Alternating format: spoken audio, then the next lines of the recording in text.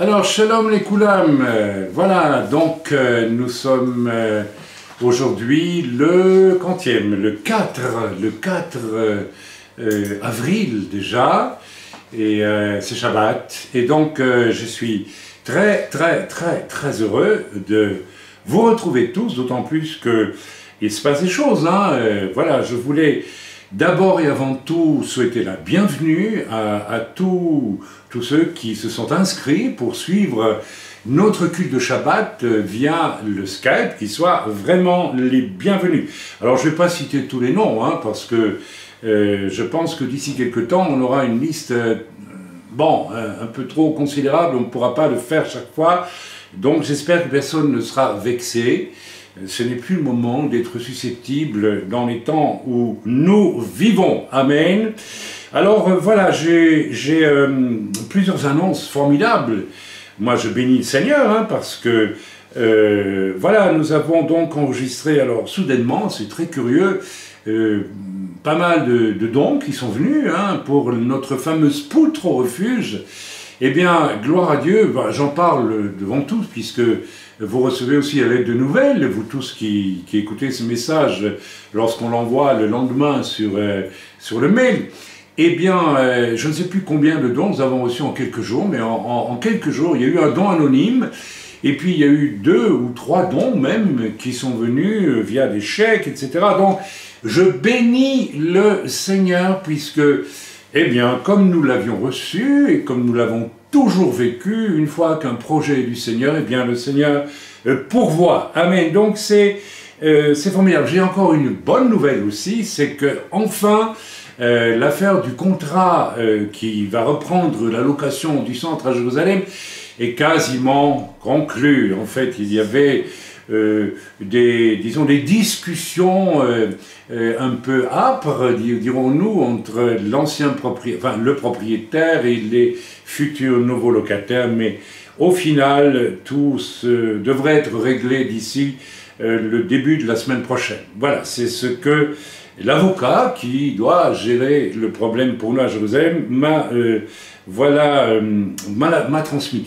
Alors une autre bonne nouvelle quand même, c'est que, il faut le dire, eh bien, toujours personne dans l'œuvre, et je bénis le Seigneur pour ça, je, ne sais pas si ça restera ainsi, mais en tout cas, aucune personne dans l'œuvre, que ce soit à Jérusalem, que ce soit en France, que ce soit ici en Suisse, n'a été atteint à ma connaissance par le coronavirus. Je bénis le Seigneur pour ça, et euh, je pense que euh, ça doit aussi faire l'objet de notre reconnaissance à l'égard de l'Éternel et doit aussi faire l'objet d'une réflexion parce que, eh bien, il faut l'admettre, Dieu euh, a permis des, choses en certains endroits euh, qui doivent mener à la réflexion. Bien, ok.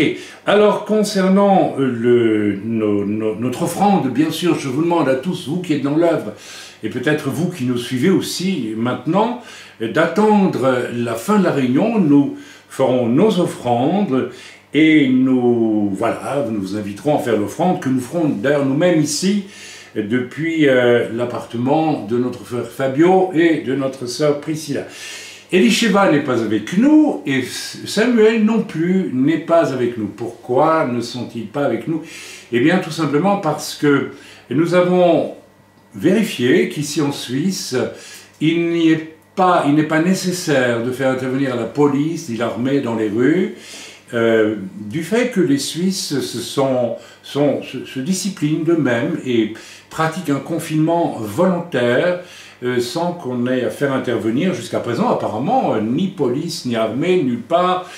Et j'ai trouvé pour ma part qu'il était... Euh, alors nous avions l'autorisation jusqu'à présent de nous réunir à cinq personnes, ce que nous avons fait. Mais finalement, j'ai trouvé qu'il était quand même correct de s'aligner sur l'attitude générale des chrétiens et même des païens ici en Suisse qui euh, se confinent volontairement. Et donc nous avons décidé de limiter au maximum les personnes qui se retrouvent ensemble le jour du Shabbat ou le jour de la réunion de prière. Donc euh, c'est une manière de, de, respecter aussi ce que les autorités nous euh, demandent de faire, et légitimement d'ailleurs, dans une très large mesure. Amen. Donc voilà. Euh, concernant la réunion de prière, j'espère que tout le monde a compris maintenant la manière dont j'ai souhaité qu'elle se déroule au cours de... Donc c'était mercredi dernier. Le but de cette façon de faire, pour vous qui avez été avec nous pour la réunion de prière, c'est de provoquer chez vous, comment dire, une prise en charge, un sens de la responsabilité. Je n'ai pas dit un sens de la rébellion et de l'indépendance, j'ai dit un sens de l'autonomie responsable. Vous savez, nous ne savons pas de quoi sera fait demain. Je le répète, je peux partir auprès du Seigneur. Euh, voilà, et il y a quand même toujours cette hum, habitude qui est, qui est ce qu'elle est, de, de, laisser un peu le, le ministère euh, le, plus, le plus ancien euh, dans l'œuvre proposer les sujets de prière. Et c'est pourquoi j'ai demandé que pour la réunion de prière, chacun cherche la face de Dieu pour trouver le sujet de prière auquel Dieu aimerait qu'il s'attache pour, pour prier. Donc euh, ça provoque, ça doit provoquer, cela a provoqué chez la plupart, sauf chez une personne apparemment qui a dit n'avoir rien reçu. Bon, c'est un peu dommage hein, quand même, mais enfin voilà, c'est comme ça. Et euh, donc euh, je voulais que vous compreniez que c'est une très bonne chose. Alors je ne dis pas que je ne vais plus jamais proposer de sujet de prière, je n'ai pas dit cela.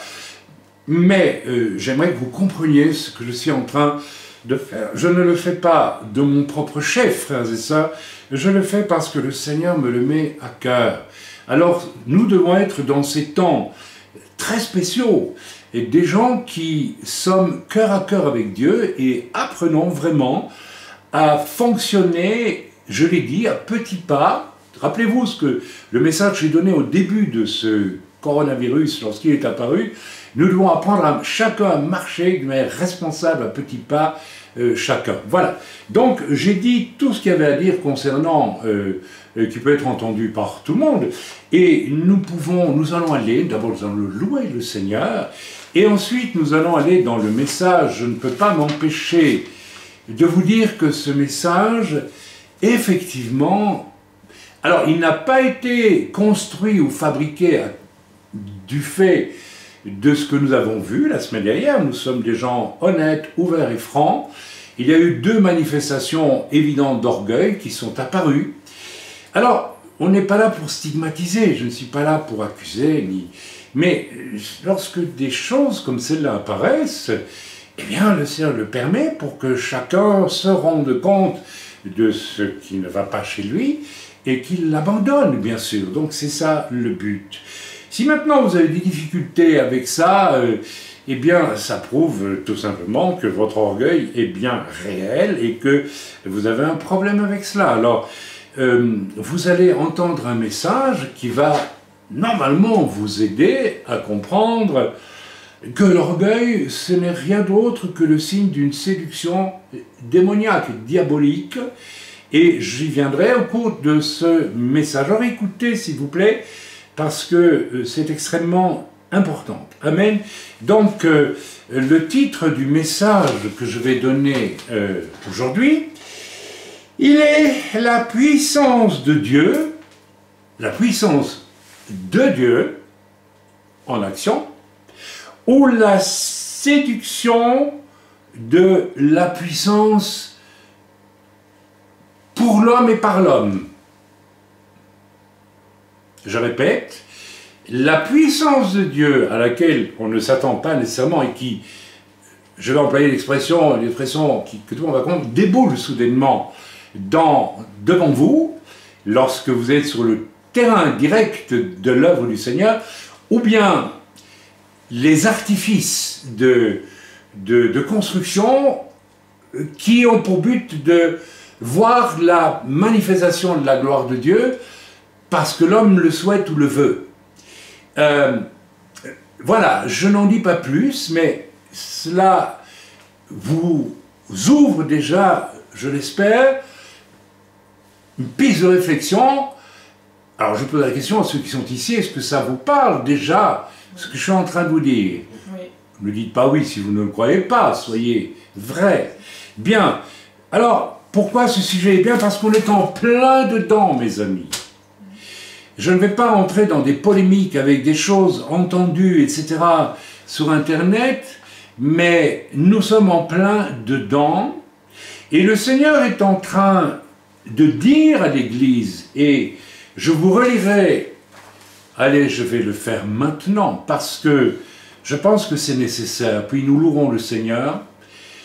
Le Seigneur est en train de parler à l'Église à travers, euh, eh bien oui, tout ce qui se passe, et euh, bien entendu, euh, l'épicentre visible qui se passe, nous le connaissons tous, il n'y a pas besoin de le nommer.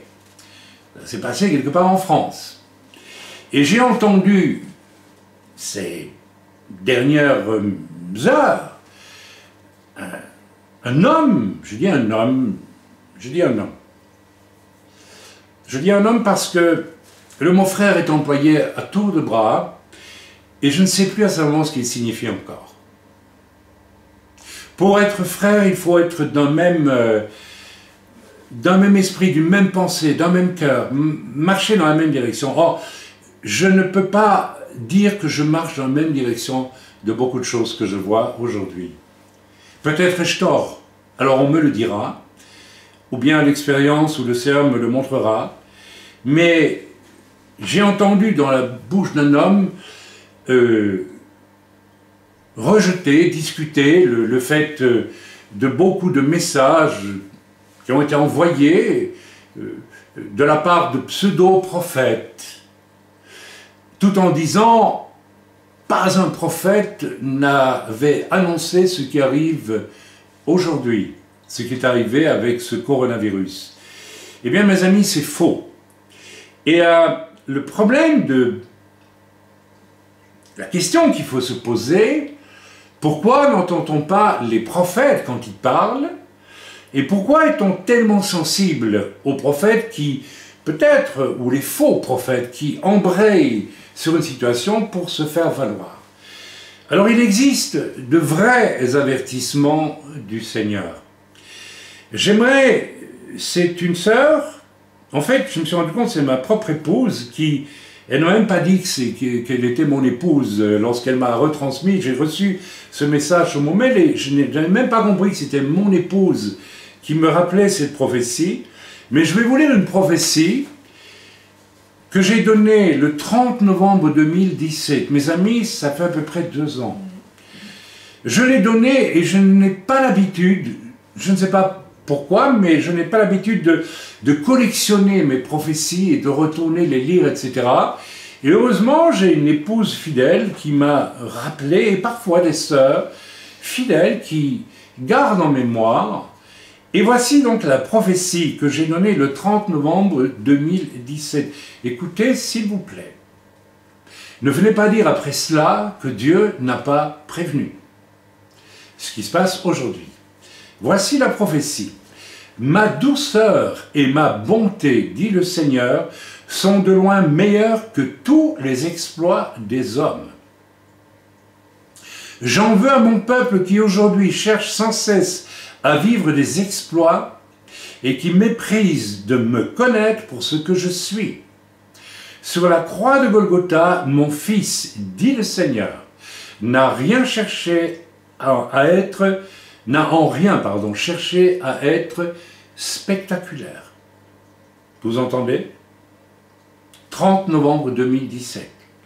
Il a été victime d'un des spectacles les plus odieux. Lui a été victime d'un des spectacles les plus odieux. Mais ce qu'il a révélé sur cette croix ici à Jérusalem, c'est une prophétie que j'ai donnée à Jérusalem, c'est mon amour, c'est ma douceur, c'est ma bonté, en lieu et place de tout l'orgueil du monde, de tout l'orgueil religieux, de l'orgueil impérial de Rome, de l'orgueil religieux de ses frères juifs de l'époque. Et mon peuple aujourd'hui est revêtu du même orgueil, du même désir d'être impérial, d'être dans le succès. Mon peuple recherche ce qui paraît, ce qui impressionne, y compris les titres quand j'entends dans une interview un chrétien parler à un serviteur de Dieu, lui dire Cher frère, tu es un général dans l'armée du Seigneur. Et que ce cher frère ne prend pas la peine de dire Tu ne devrais pas parler comme ça, je suis un misérable pécheur sauvé par grâce et un serviteur inutile. Fermez la parenthèse. Mon peuple recherche ce qui paraît, ce qui impressionne, mais mon peuple m'ignore pour ce que je suis, tel que je suis. Je te demande, dit le Seigneur, Église, de me chercher pour ce que je suis, loin des trompettes, loin des tambours, loin des apparences, loin de tout ce qui brille parfois et qui apparemment se dit de moi-même. Les grandes estrades sont particulièrement nommées ici d'une manière flagrante, évidente. Je t'en veux, Église, dit le Seigneur, tu ne me cherches plus, tu ne sais plus qui je suis. Je t'en veux, Église, et bientôt, écoutez s'il vous plaît, comme je vais confondre ce monde avide d'argent, avide de plaisir, avide d'orgueil, avide de succès, de faux semblants, je vais aussi te confondre, Église. C'était dit en novembre 2017. Mais je ménage, dit le Seigneur, et je protège cette Église douce et humble, qui ne ménage pas ses efforts pour amener autrui à la connaissance du salut de la part de celui qui a manifesté le plus grand des amours, la plus grande des douceurs, sans rechercher aucunement à paraître spectaculaire. Il est dit dans l'Écriture, dans mon Écriture, dit le Seigneur, qu'il n'a pas cherché comme une proie à arracher d'être l'égal de Dieu, alors qu'il est Dieu. Merci Seigneur pour ce chemin. Et je notais ici, je ne prophétise plus maintenant, c'est moi qui priais. Merci pour ce chemin qui disparaît pour tant et tant de chrétiens aujourd'hui, qui sont entrés sur le chemin large et spacieux qui mène au succès des hommes et méconnaissent le chemin étroit et resserré, entre parenthèses, qui implique la vraie persécution. Celui que tu m'as montré il y a bientôt 40 ans, c'est moi qui priais là, dans une vision et auquel j'ai adhéré tout de suite, car j'ai su que c'était le seul chemin qui menait au salut. Frères et sœurs, cette prophétie a été donnée à Jérusalem le 30 novembre 2017. Elle est explicite. Elle annonçait que le Seigneur allait amener un jugement dans l'Église. Pas un jugement pour détruire, pour amener une prise de conscience et la repentance. C'est tellement clair. Deuxième message du Seigneur. Alors que le coronavirus se déclenchait en Chine et commençait à faire des ravages, c'était vers le mois de novembre-décembre 2019, j'ai communiqué au corps entier à travers une réunion de prière que nous avons tenue au refuge avec vous, qui étiez là-bas, mes amis, et d'autres, la vision de l'ange noir, mes amis. Cette vision annonçait quelque chose de redoutable qui venait sur toute la terre. Et en elle-même, elle était suffisante pour provoquer la réflexion, l'attention. Mais ne venez pas dire aujourd'hui qu'il n'y a pas de véritables prophéties, d'avertissements qui sont relâchés par le Seigneur. Dites plutôt que vous n'avez été pas, pas branché sur ce qu'il fallait, peut-être, euh, c'est sur quoi il fallait être branché au moment. Et c'est à ceux qui n'ont pas entendu l'appel de Dieu à se poser la question aujourd'hui pourquoi ils ne l'ont pas entendu. Amen. Bien, j'espère que j'ai été clair, j'espère que je ne blesse personne. Ce n'est pas mon but, mais là, je pense que, voilà, moi aussi, j'ai des, gens qui m'écrivent et qui, auxquels je suis soumis. Je reçois aussi des messages de prophètes, euh, des messages ne sont pas de Dieu, ils abondent, mais je reçois aussi des messages d'un prophète en particulier, qui est anglais, qui est un homme, lorsque je l'ai vu pour la première fois, m'a fait penser qu'il était comme Jésus. Et ça ne trompe pas. Je suis en train de vivre un combat formidable, je vous l'ai écrit à vous qui êtes dans l'œuvre, puisque le Seigneur m'a dit, et j'étais surpris depuis à peu près euh, une semaine, deux, trois semaines, il faut maintenant que tu écrives un livre sur, euh, vous avez dit prophète, en effet, dans Keila euh, numéro 1, tome numéro 1, j'ai parlé d'apôtre, j'ai parlé de pasteur, j'ai parlé de puissance, et vous venez de voir diffuser le livret extrait de Keila 1, vous avez dit puissance, que j'ai euh, reproduit tel quel et amplifié un peu, perfectionné, je dirais. Donc, s'il vous plaît, nous sommes dans, le thème qui, qui concerne plus que jamais l'Église aujourd'hui, parce qu'il y a un réseau de puissance qui n'est plus la puissance de Dieu, et qui est une puissance qui flatte l'ego et l'orgueil et la vanité de gens qui croient continuer à servir le Seigneur et qui ne le servent plus et ne s'en rendent même pas compte. C'est terrible ce que je vous dis, mais ça mérite d'être réfléchi. Alors, euh, je suis en train de commencer, et je vais vous faire un aveu, le Seigneur m'a pressé avec cela, parce que je n'avais pas attaqué euh, la question du ministère de prophète, qu'est-ce que c'est qu'un vrai prophète? Parce qu'à l'époque, il y a presque 20 ans, je n'avais pas assez de recul encore, peut-être je n'avais pas assez souffert moi-même, peut-être je n'avais pas assez observé moi-même, parce que j'ai vu beaucoup de fausses, de faux prophètes, d'hommes qui auraient pu être de vrais prophètes et sont devenus de faux prophètes. Alors, la question, je ne vais pas développer tout cela maintenant, la question centrale est comment de vrais prophètes devient-on faux prophète. Mes amis, la question n'est pas une question de prophétie, la question est une question de caractère. Car le vrai prophète, à l'instar de l'apôtre d'ailleurs, est un homme qui doit être détruit dans toute forme d'ambition et de, de, désir de, d'activer lui-même son ministère de prophète. Le vrai prophète ne cherche jamais à prophétiser, il est saisi par l'Esprit de Dieu quand Dieu le souhaite, et alors il part.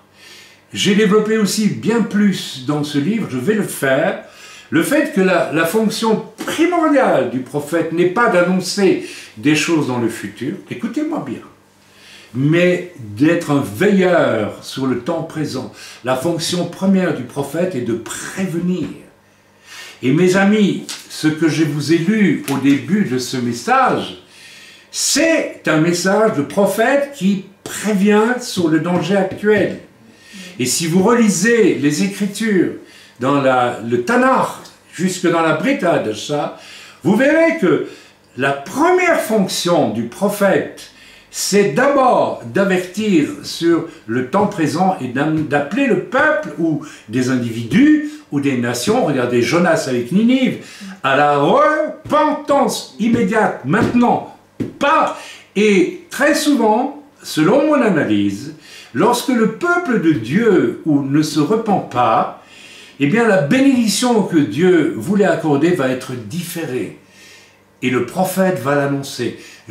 Je, n'en dis pas plus, je le fais exprès pour attiser votre curiosité.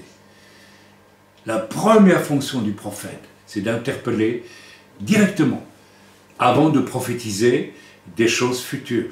Or, la plus grande part des prophètes de ce temps sont des, des joueurs qui sont axés sur le seul fait de prophétiser des choses et des choses et des choses. Et il en sort des tonnes, et les trois quarts du temps, c'est faux, c'est vain, ça ne mène à rien. Ça encourage les gens dans leur désir charnel, dans leur confort. Je ne veux pas parler de ça aujourd'hui. Je travaille, et c'est très dur pour moi, très difficile. Je mène un combat extraordinaire pour cela, puisque Dieu m'a poussé dans le dos, littéralement poussé, et en, un matin, en l'espace de, de 15, même pas 10 minutes, Dieu m'a donné une cinquantaine de points essentiels, comme ça, les uns après les autres, qu'il faut que maintenant j'essaye de, de, de, donner euh, sous une forme qui, qui, soit, euh, qui, parle. Et c'est un combat, mes amis. Je, je sens que c'est un combat extraordinaire. Et je vous demande de prier pour cela. Amen. Nous allons aller dans la parole de Dieu ensemble. Ah non, nous allons d'abord louer le Seigneur. Nous allons louer le Seigneur parce que c'est essentiel, surtout en ces temps, n'est-ce pas, si particuliers. Nous avons vécu tous la compréhension du fait que le fait d'être isolé nous rapproche dans une communion pourvu que les choses restent vraiment essentielles parmi nous. Et que nous, nous balayons vraiment toute œuvre qui, au fond, la seule contre-attaque que le diable peut faire pour essayer d'enrayer cette nouvelle communion fraternelle, si, belle, si, pure, si, si, formidable, malgré que nous sommes tous confinés, rendez-vous compte, c'est de réveiller chez vous l'orgueil. C'est de réveiller le centrage sur vous-même. C'est de jouer sur votre susceptibilité. Bref, de vous inviter à vous couper de la beauté de cette communion fraternelle qui implique qu'on fait passer et Dieu en premier et les autres ensuite avant soi. C'est tellement clair, ça nous a été dit en long et en large par la parole de Dieu. Jésus l'a dit, toute la loi est résumée dans ces choses. On nous l'a prêché, reprêché, nous, nous sommes en train de le vivre. Ne venez pas détruire cela. Alors louons le Seigneur tous ensemble, si vous voulez bien, et euh, allons-y de tout cœur. Alléluia. Gloire à toi, Seigneur. Nous voulons te louer, nous voulons te bénir. Nous voulons vraiment exalter ton nom, Seigneur, au-dessus de tout nom. Et Seigneur, te dire à quel point nous te sommes reconnaissants de ce que tu nous fasses réaliser à quel point nous sommes des serviteurs inutiles. Que les outils que tu nous confies ne sont pas des outils qui doivent prendre ta place. Seigneur, j'ai entendu il n'y a pas si longtemps ça, un serviteur de Dieu, faisant visiter par des caméras du monde un poste de pilotage hautement technique de ces moyens de diffusion, et qui a dit, si Jésus revenait aujourd'hui, je n'ai aucun doute qu'il se servira, il se servirait de ces engins-là pour exercer son ministère.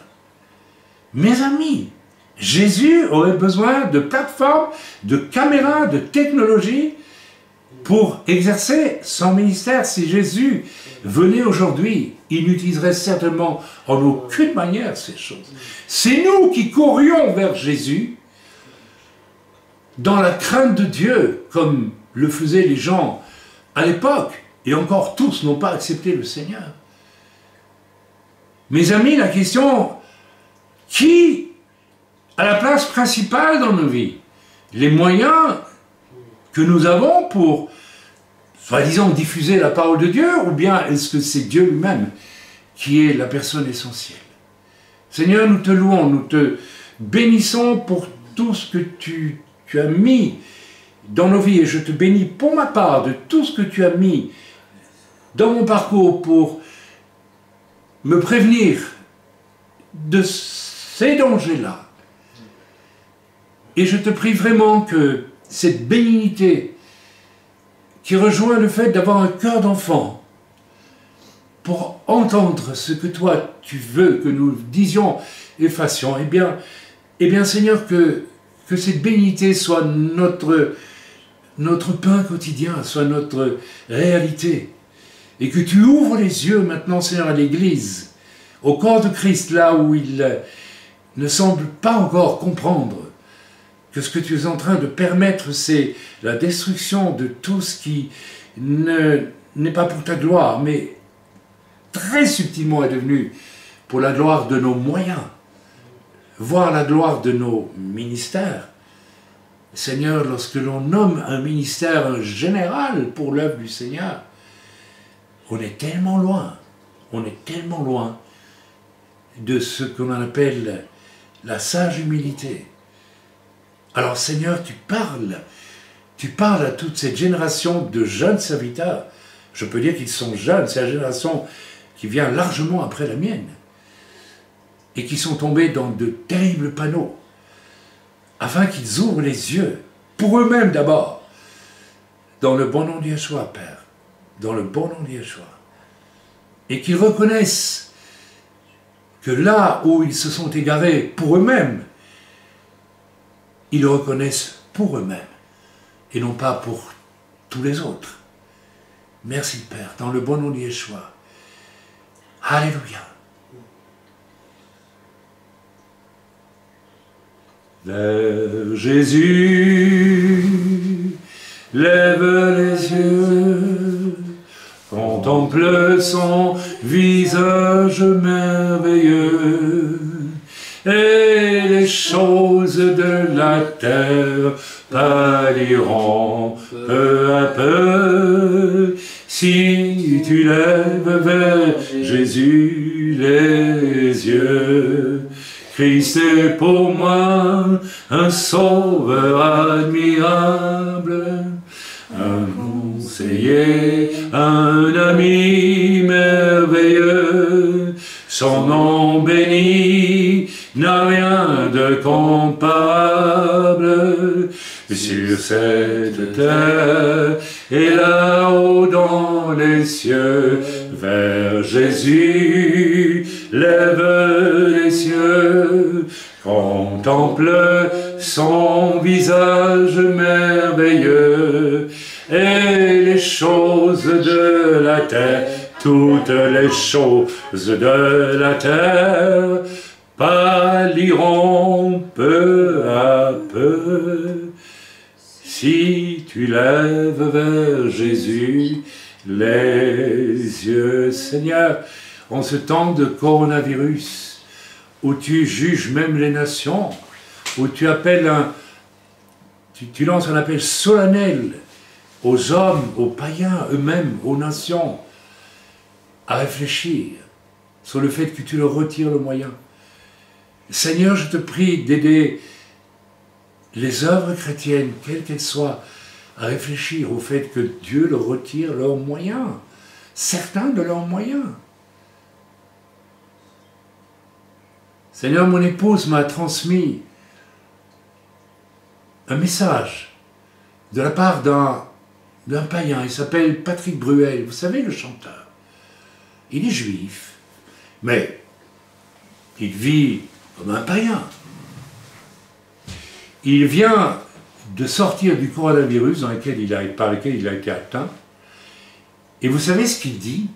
Avec une grande simplicité de cœur, dans un esprit de vérité, lui, le juif qui vit comme un païen, il dit on ne sort pas indemne d'une chose comme celle-là, il dit en, en, substance quelque chose comme euh, ce qui s'est passé là a changé toute ma vie.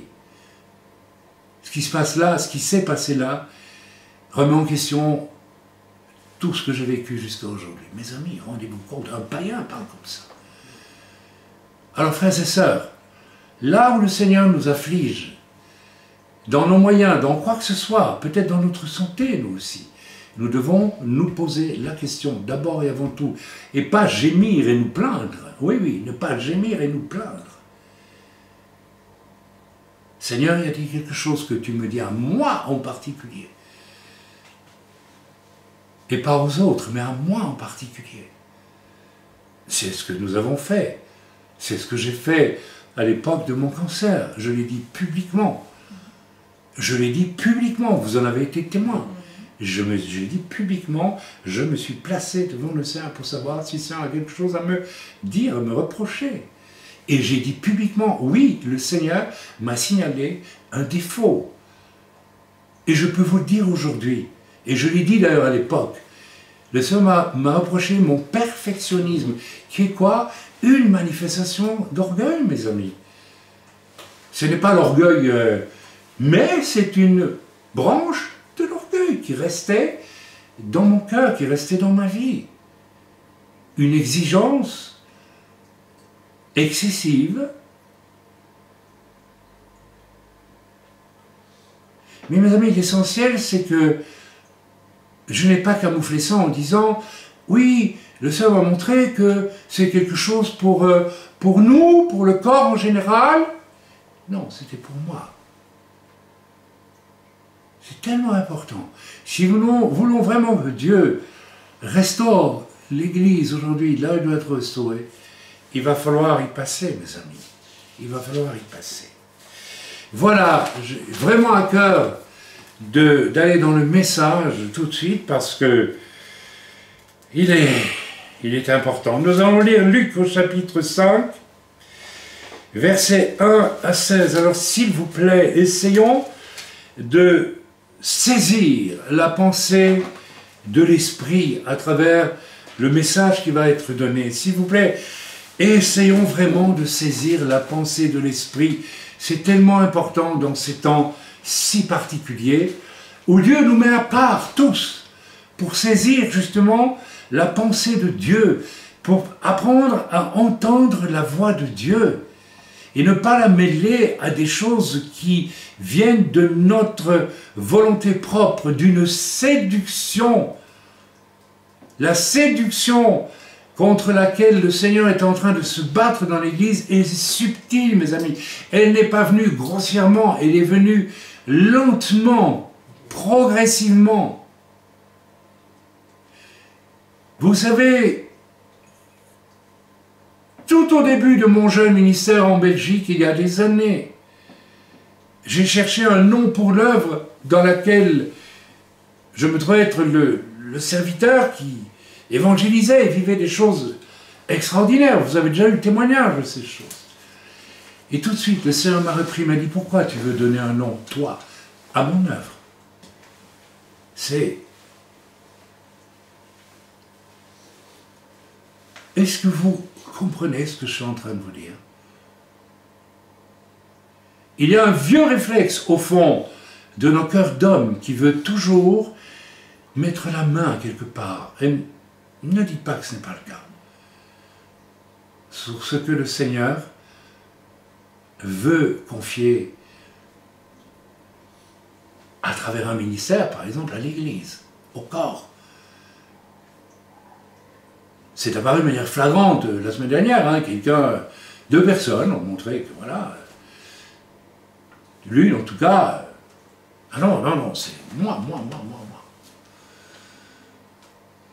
Alors que l'essentiel c'était que Dieu avait parlé, pas. Il fallait qu'on sache que c'était pas vous ou quelqu'un d'autre. Mais la personne a compris. Et la personne s'est repentie. Et je la bénis dans mon Yeshua. Et je lui demande de faire très attention à ce problème. On va lire ensemble donc Luc 5, chapitre 1, chapitre 5, pardon, versets 1 à 16. Je demande aussi à ceux qui ont été mis à part, qui ont été mis au banc de l'Église chez nous, de réaliser que fondamentalement, les raisons pour lesquelles ils ont finalement dû être au banc de l'Église, c'était le fait d'une séduction, soit l'amour du monde, soit l'amour d'eux-mêmes, pour paraître. Je n'ai pas besoin d'en dire plus. J'espère, de tout cœur, que votre mise à part qui est terminé pour certains, terminé, je l'espère, vous a fait comprendre à quel point, et je vais en parler tantôt, je peux le dire dès maintenant, hein, vous savez, en Genèse, au chapitre 3, verset 13, il est écrit que Ève dira Le serpent m'a séduite. Comment est-ce que le diable l'a séduite? En lui disant Ève, tu seras comme Dieu.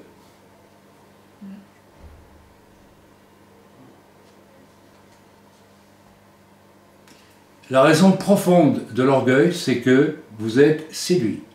C'est que nous sommes séduits. La, raison profonde pour laquelle on peut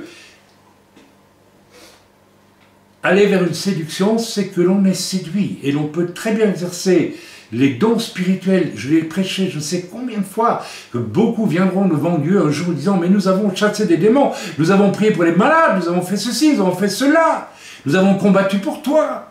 Nous avons créé des, structures énormes et importantes. Nous avons, nous avons, nous avons. Et Jésus leur répondra, retirez-vous de moi, vous qui commettez l'iniquité. Mais qu'est-ce que c'est que l'iniquité? C'est tu as été séduit et tu ne le sais même pas. Lisons ensemble Luc 5, chapitre, verset 1 à 16. Comme Yeshua se trouvait auprès du lac de Génézareth,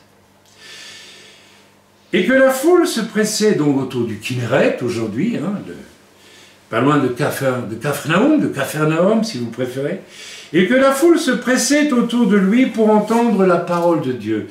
Très intéressant. La foule se pressait autour de Jésus pour écouter la parole de Dieu. La foule ne se pressait pas autour de qui que ce soit d'autre.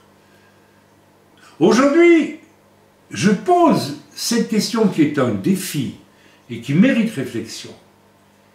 Est-ce que nous nous réunissons, pour écouter Jésus qui parle ou est-ce que nous nous réunissons pour écouter un homme qui parle en ce moment même? Si c'est moi que vous écoutez en priorité, vous êtes complètement auto-séduit parce que ce n'est pas du tout ce qui est mon désir et vous le savez. Et j'ai lutté en long et en large régulièrement pour que ce problème n'apparaisse pas dans la vie de chacun dans l'œuvre. Amen. Je signale simplement à mon frère que dans l'image caméra est apparu un avertissement, je ne sais pas ce que c'est, ça filme toujours, mais peut-être pourrais-tu regarder, ben, ça a disparu maintenant. Voilà, excusez-nous, c'est un petit... Euh, euh, j'espère qu'on n'est pas... Euh, n'avertit pas qu'on est à, court au niveau de la. Ok. Donc voilà, excusez-nous pour cet euh, incident, mais après tout, vous savez, euh, euh, ce n'est pas grave, il vaut mieux, même s'il y a des petits défauts dans notre travail, eh bien, eh bien on peut le savoir, hein, il n'y a pas de défaut. C'est moi qui craignais pour rien. Voilà donc, et que la foule se pressait autour de lui pour entendre la parole de Dieu. La parole de Dieu, mes amis. Chaque fois qu'un serviteur de Dieu aujourd'hui ouvre la bouche, il s'agit de la parole de Dieu ou pas vraiment la parole de Dieu, ou la parole de Dieu plus autre chose. Il vit au bord du lac deux barques, d'où les pêcheurs étaient descendus pour laver leurs filets. Il monta dans l'une de ces barques qui était à Simon. Et il le pria de s'éloigner un peu de terre, puis il s'assit et de la barque, il enseignait la foule. De la barque. Qu'est-ce qu'il y avait comme endroit plus familier pour la foule qui était là? C'était des pêcheurs, pour la plupart. Ou les gens qui vivaient de la pêche, qui revendaient le produit de la pêche. Jésus les rejoint dans ce qu'ils sont, dans ce qu'ils vivent. Jésus n'a pas besoin d'estrade. N'avez pas besoin de superstructures, méga ceci, méga cela, qui sont, allez, lâchons le, morceau, qui sont en fait beaucoup plus la fierté des hommes qu'autre chose. Et que, et que l'on prie Dieu de bien vouloir utiliser. Il y a quelque chose là, mais qui est faux. Lorsqu'il eut cessé de parler, Il dit à Simon, avance en pleine eau et jetez vos filets pour pêcher. Simon lui répondit, Maître, Rabbi si vous préférez, nous avons travaillé toute la nuit sans rien prendre, mais sur ta parole, sur ta parole, je jetterai le filet. Extraordinaire. J'ai confiance en toi. À ce stade-là, Pierre est un disciple même pas débutant.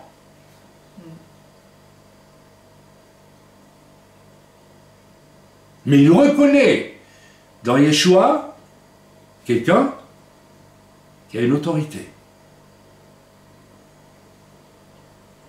L'ayant jeté, ils prirent une grande quantité de poissons et leurs filets se rompaient. Ils firent signe à leurs compagnons qui étaient dans l'autre barque de venir les aider. Ils vinrent et ils remplirent les deux barques au point qu'elles enfonçaient. Quand ils vit cela, Simon-Pierre tomba aux genoux de Yeshua et dit, Seigneur, retire-toi de moi parce que je suis un homme pécheur. Car l'épouvante l'avait saisi. Lui et tous ceux qui étaient avec lui à cause de la pêche qu'ils avaient faite.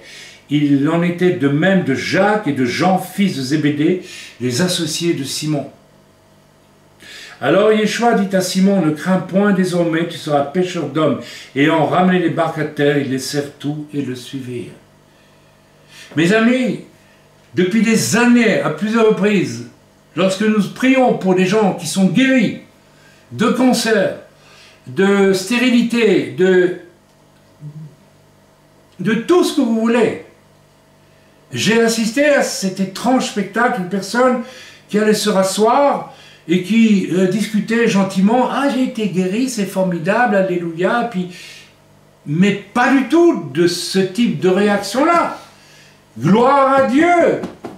Ici, ces disciples qui, n'en sont même pas à comprendre encore vraiment qui est Yeshua, mais, mais ils sont saisis d'effroi devant la gloire de Dieu manifestée. Qu'est-ce que je veux dire par la lecture de ce message? Eh bien, la puissance ici, comme je l'ai largement développé déjà dans ce nouveau livret qui vient de sortir, vous avez dit puissance et que j'espère que tout le monde va lire dans l'œuvre. Je ne vous oblige pas à le lire, mais enfin, euh, voilà. Les démonstrations de puissance sont à vivre, mes amis, où? Sur le terrain, au contact des âmes? Sur le terrain et où seul Dieu sera l'initiateur du miracle. Et le fait que les gens sur place comprennent que c'est Dieu qui fait le miracle, vous commencez à me suivre, sont pris d'une crainte de Dieu extraordinaire. Or aujourd'hui, sur tant de plateformes, les miracles provoquent l'enthousiasme pour le serviteur et n'amènent pas une espèce de crainte de Dieu devant la manifestation de sa puissance. C'est tellement entré dans les mœurs que un nombre de plus en plus considérable de faux serviteurs, qui peut-être au départ étaient appelés à être de vrais serviteurs, mais qui ont succombé à la séduction d'utiliser pour leur propre gloire, et c'est subtil, ça vient subtilement, je vais en parler, les dons que Dieu leur a accordés, et sont devenus même des... ont engendré une génération de gens complètement faux, de faux oins, qui mettent en spectacle des dons pensent, semblent être du Seigneur, mais le sont probablement pas, et qui doivent même relever de la sorcellerie et de l'occultisme, oui. Et qui créent un spectaculaire absolument exceptionnel autour de leur nom.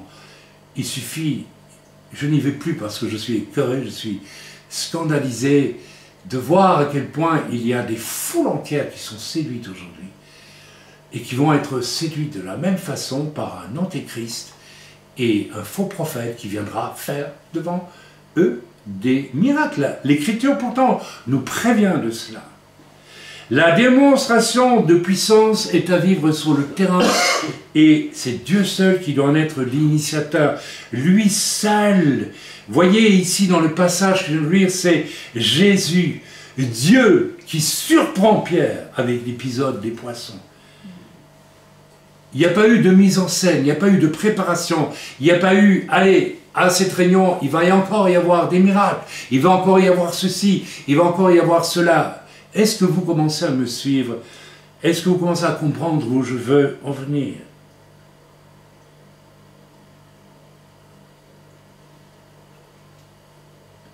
Mes amis, les réunions qui ont finalement pour but, même si on n'en a pas une croissance salut, et que l'on prétend le faire pour servir Dieu, je vous donne un exemple tantôt, que j'ai vu il y a presque 20 ans maintenant, et qui a été un des premiers exemples par lequel le Seigneur m'a montré que allait venir un spectaculaire dans l'Église qui avait pour but de mettre l'homme en valeur et non plus Dieu. On commence à comprendre que la mise en spectacle et le décorum qui va avec, qui a quelque chose de spectaculaire, des miracles organisés, des dons spirituels mis en, scène, en spectacle, organisés. Eh bien tout ça ne vient pas de Dieu, mes amis. Ne peut pas venir de Dieu. Mes amis, c'est, quelque chose de plus grave que ce que nous imaginons, parce que, essayez de me suivre, s'il vous plaît. C'est pas simple à expliquer, et pourtant c'est très simple, au fond. Mes amis, ce que Jésus a fait, alors que Jésus disait, je ne fais rien d'autre que je dois faire par mon Père. C'est ça l'exigence d'un vrai oin de Dieu. Et tout ce qu'on ajoute, Jésus l'a dit aussi, que votre oui soit oui, votre non soit non, tout ce que l'on ajoute vient du diable. Et nous pouvons ajouter tant de choses que nous croyons être utiles pour Dieu, mais qui ne viennent pas de Dieu. Elles sont donc du diable. Et à travers ce coronavirus, c'est Dieu qui est en train de vouloir nous sortir de là, si nous sommes tombés dans cette erreur, dans ce piège. Pourquoi? Pourquoi c'est plus grave encore que ce que nous imaginons? Eh bien tout simplement parce que quand Jésus lui-même manifeste la puissance de Dieu, il le fait de la part de Dieu, et c'est pur, c'est propre, c'est sans un atome de, de, de, de ce que même sa nature d'homme pourrait mettre en plus. Rappelez-vous, Jésus était homme et Dieu. Dieu et homme. Il n'a pas été tenté au désert autrement que parce qu'il était aussi homme. Mais les actes parfaits de Jésus, de Yeshua, dans son ministère, d'apôtre, prophète, évangéliste, docteur, et tout ce que vous voulez, euh, les, enfin les cinq ministères, j'espère que je n'ai oublié aucun, étaient purs. Dès lors, ils ont eu un, impact, je veux dire, extraordinaire. Un impact. Un impact qui sert le plan de Dieu. Chacune de nos prières, chacune de nos, de nos attitudes dans le service est soit quelque chose qui va servir pour la gloire de Dieu ou si ça ne sert pas pour la gloire de Dieu, ça sert pour la gloire de quelque chose ou de quelqu'un d'autre, peut-être de nous-mêmes, et certainement de nous-mêmes.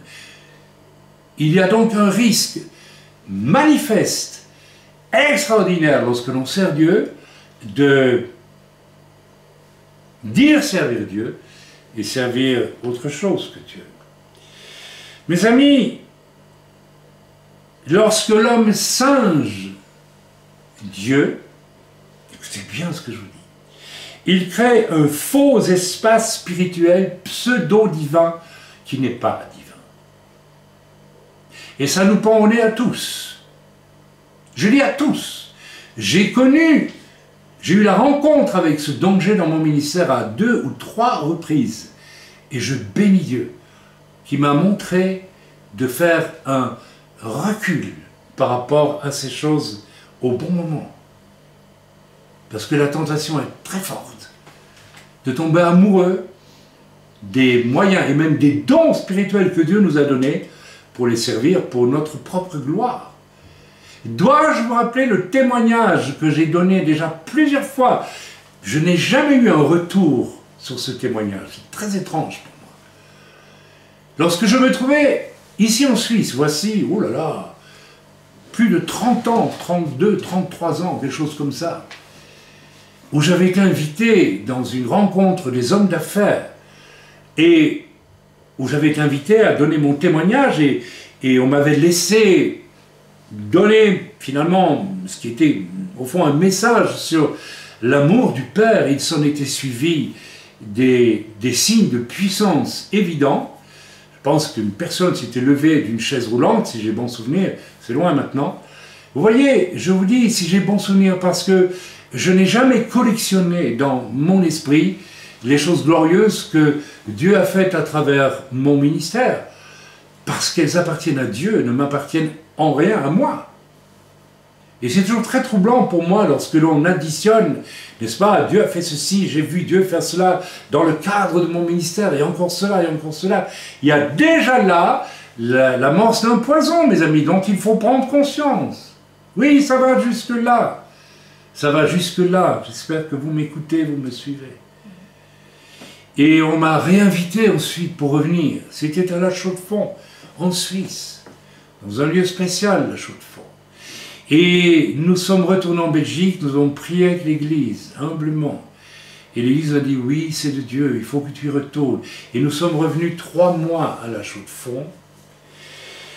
Et là, nous avons commencé à recevoir énormément de monde à la maison et à faire un travail au fond de, qui a mené à la repentance, ces gens qui devaient venir à la repentance, beaucoup de chrétiens en fait, et aussi un travail d'évangélisation parmi, les drogués, les, les, les, gens déviants dans cette vie de la Chaux-de-Fonds. Il y avait beaucoup de jeunes. Et parallèlement se tenaient des réunions. Et un jour s'est tenue une réunion spectaculaire, mes amis. Je suis entré, je vous répète le témoignage, je suis entré dans cet endroit où les gens étaient là et attendaient de voir des signes et des prodiges. Parce qu'il y avait eu des signes véritablement glorifiant Dieu et ils étaient passés dans le... On veut encore voir des signes et des prodiges. Mais ils n'étaient plus là pour entendre la parole de Dieu. Ils étaient là pour voir des signes et des prodiges. Et encore des signes et des prodiges. Ça me rappelle certains pharisiens qui voulaient absolument voir des signes et des prodiges pour qu'on croit que Yeshua était le Messie. Donc ce que tu racontes, Yeshua, fais-nous voir, donne-nous la preuve. Donc on me mettait en position de répéter des signes et des prodiges et non pas d'annoncer la parole de Dieu. Je l'ai vécu à plusieurs reprises.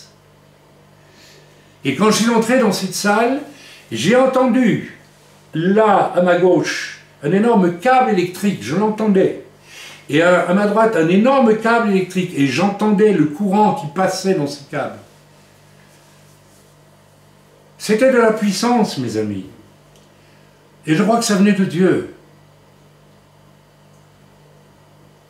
Et quand j'ai commencé la réunion, j'ai vu cette puissance qui était là, et qui allait commencer à agir. Et c'est alors que le Seigneur m'a interpellé.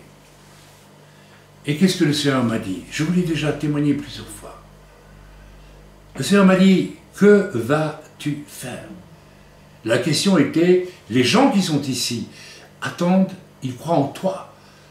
Ils croient en la puissance que je t'ai confiée et ils sont en train de faire de toi une idole. Que vas-tu faire?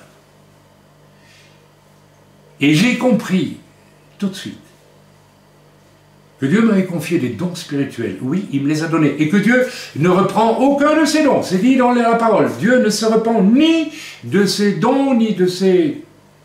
Il, ne s'en repent pas. Il ne les reprend jamais. Mais j'ai compris que à partir de là, pour satisfaire la soif du public qui était là, je pouvais utiliser les dons et j'aurais renforcé ma propre gloire à leurs yeux. J'ai compris cela et j'ai dit non Seigneur. Non. Alors le Seigneur m'a dit, tu sais ce que tu vas faire? Tu vas prêcher ton message et puis tu vas t'en aller de cet endroit.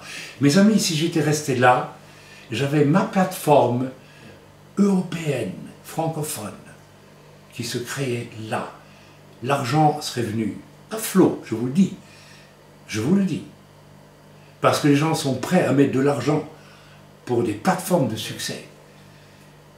mais ils ne mettront pas un copec pour ceux qui souffrent au fond de la brousse et qui, eux, vivent la gloire de Dieu dans des signes et des prodiges dont personne ne parlera jamais sur aucune plateforme, mais qui la vivent au contact des gens sur le terrain.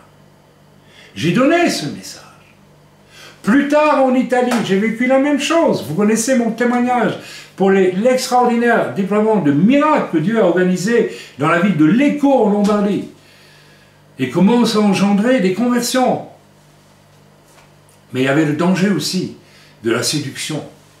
Et vous savez comment un pasteur et un diacre sont venus par derrière pour voler cette œuvre. Ils étaient séduits.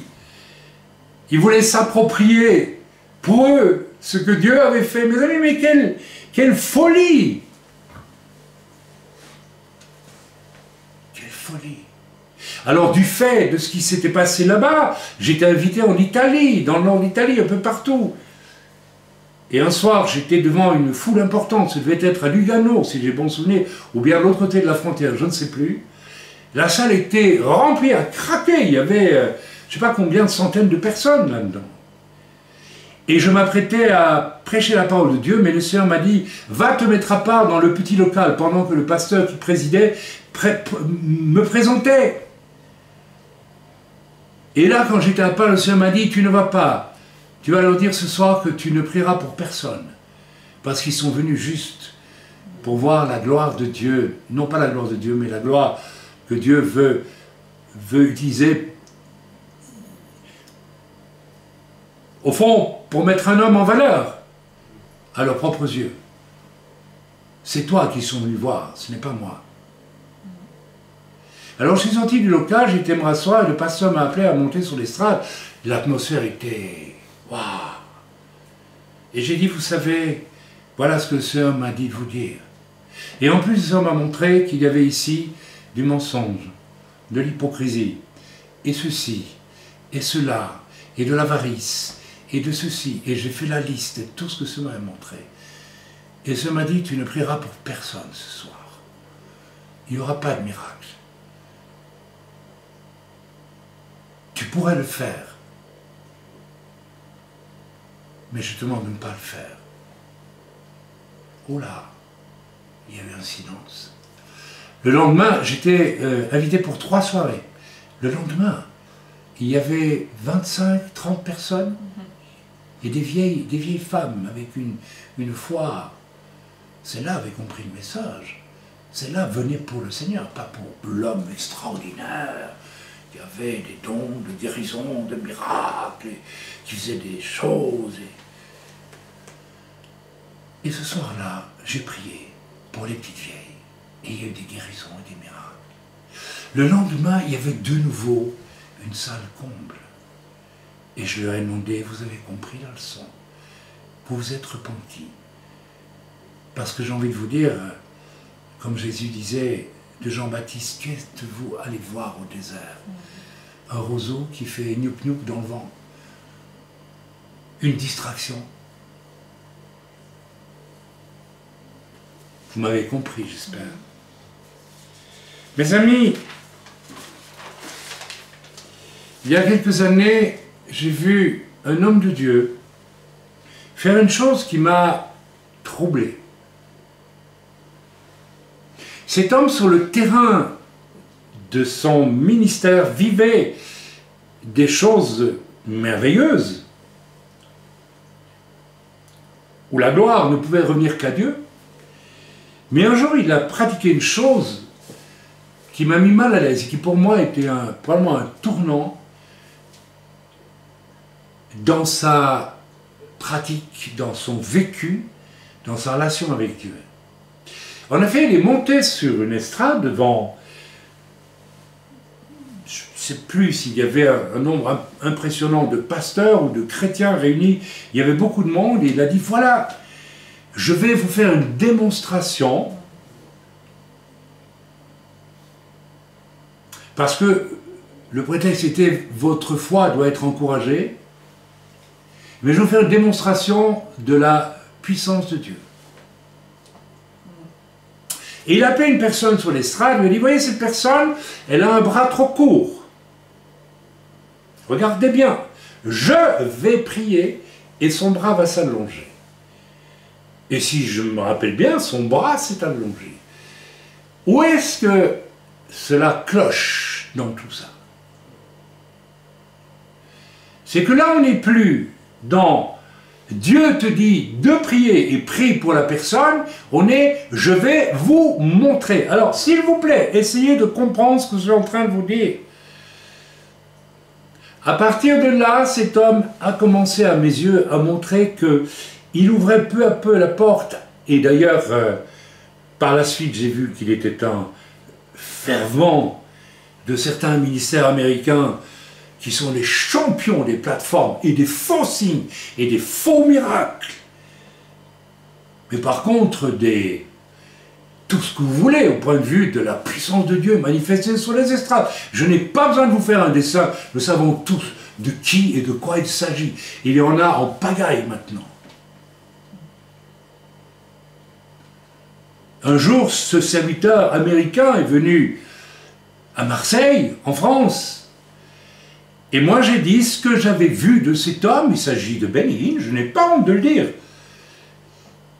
Bien des années auparavant, lorsqu'il était venu à Francfort, j'ai témoigné de cela aussi. Et l'affiche avec Benny en tête, bien sûr, pourquoi bénigne Pourquoi sur les affiches qui annoncent ces croisades d'évangélisation, voit-on la photo de l'homme qui va évangéliser? Pourquoi? Vous croyez que c'est anodin? Mais ce n'est pas anodin du tout.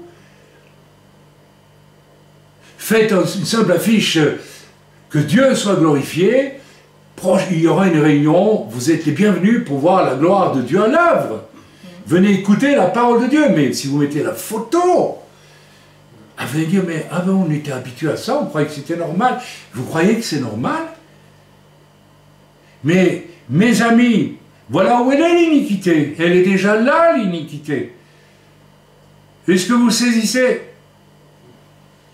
Et je suis entré dans une librairie chrétienne où on vendait mes livres.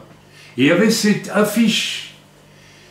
Et j'ai demandé à la sœur, tu n'as aucun malaise avec cette affiche et ce serviteur cet homme-là?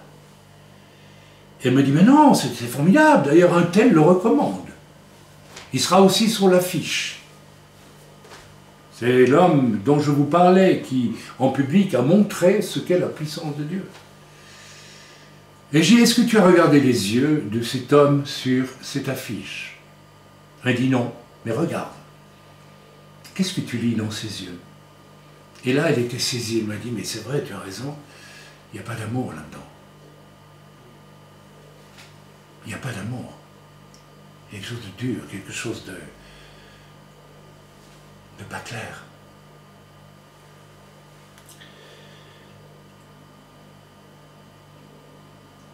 Je l'ai dit concernant cet homme de Dieu, il a pour moi fait une chose qui a démontré qu'il avait décidé d'utiliser les dons spirituels que Dieu lui a confiés pour initier le principe de la démonstration en public. Mes amis, à partir de là, vous avez tout pour comprendre tout ce qui se passe aujourd'hui. Je l'ai dit et je le redis, je suis opposé à nombre de choses qui se font aujourd'hui. Je vous donne un exemple tout de suite. On a parlé à une époque, on parle peut-être toujours des fameuses chambres de guérison. Mais qu'est-ce que c'est? C'est pas des chambres de guérison, c'est des endroits pour vous apprendre, paraît-il, à avoir le don de guérison. C'est ce qu'on vous dit. Et attention, contre espèces sonnantes et trébuchantes, faut payer.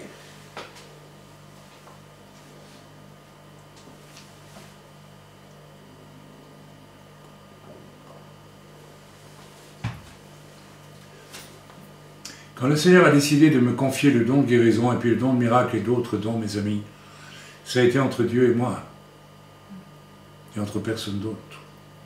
Ça a été confirmé par des serviteurs de Dieu qui étaient des vrais hommes de Dieu.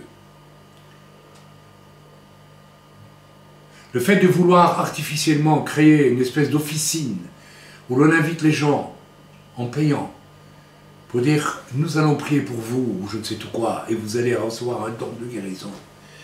Je connais une sœur dans l'œuvre qui est une championne, qui a été, qui est jusqu'à peu une championne concernant le fait d'être séduite et d'être à son tour séductrice et mondaine. Bien sûr, elle a foncé tête baissée là-dedans, elle a payé, elle est allée, elle a reçu un papier comme quoi elle avait participé, et je lui ai demandé, et le don guérison, tu l'as reçu? Mais ah mais non. Et, ça ne te fait pas réfléchir. Mes amis, la guérison et le miracle est quelque chose qui se vit et se joue sur le terrain où Dieu nous envoie. Et nous n'avons pas besoin de, de lieux artificieux ou artificiels pour recevoir, soi-disant, un don spirituel. Il y a l'Église pour ça. La vraie Église de Jésus-Christ, de Yeshua, est faite pour ça. Mes amis, attention, attention, attention, je l'ai dit au début de ce ministère, le problème de beaucoup de prophètes aujourd'hui, c'est qu'ils sont devenus de faux prophètes parce que leur caractère est faible, mes amis, extrêmement faible.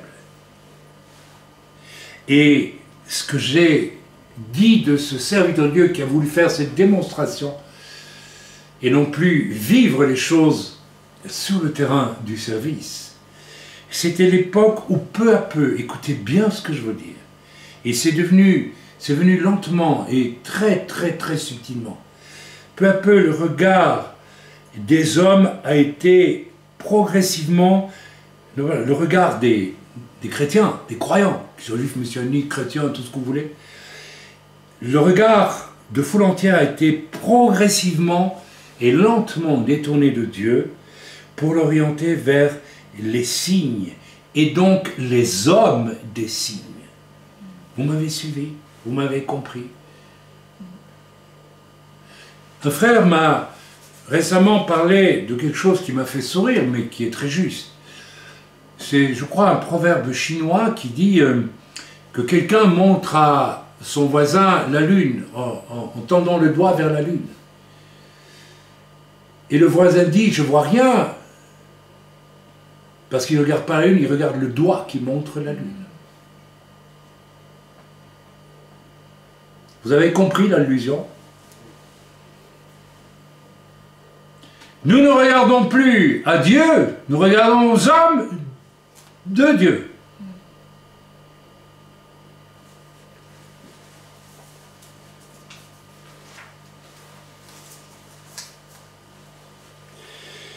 Je le répète, il y avait suffisamment de miracles de Dieu en direct sur le terrain du ministère de cet homme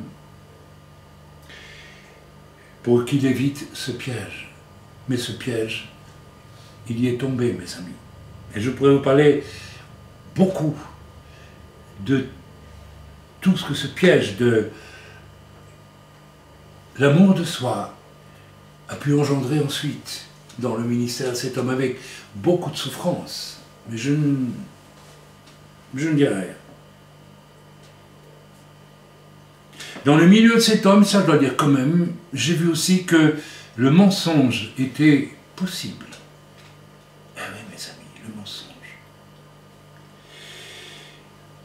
Je ne sais si cet homme, mais je ne le crois pas, qui a demandé de mettre en scène ce miracle,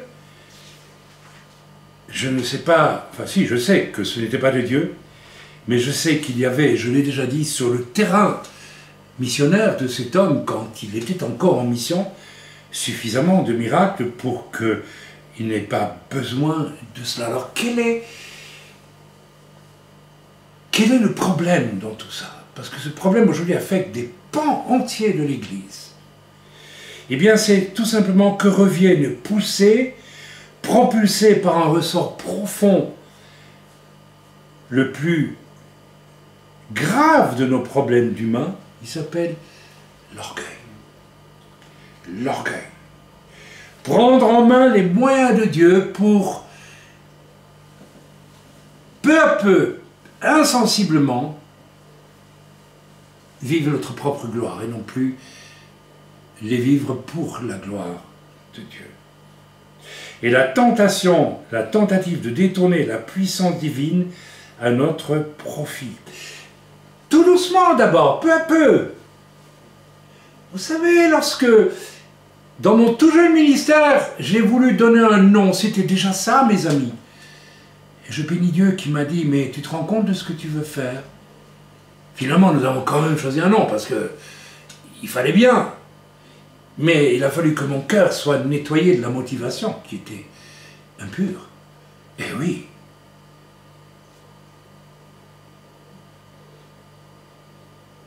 Vous me comprenez ou vous ne me comprenez pas?